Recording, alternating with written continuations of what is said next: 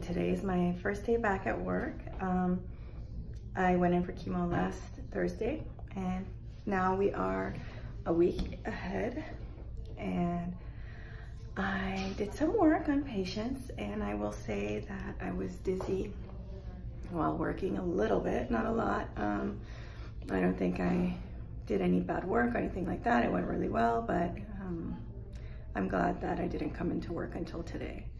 Um, things are going well, everything is functioning. We've got a great doctor that has taken the lead.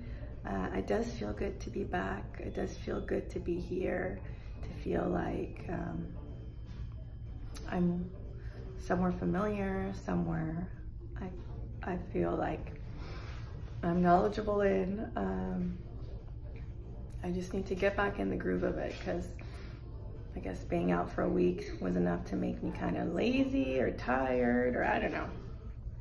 But feels good.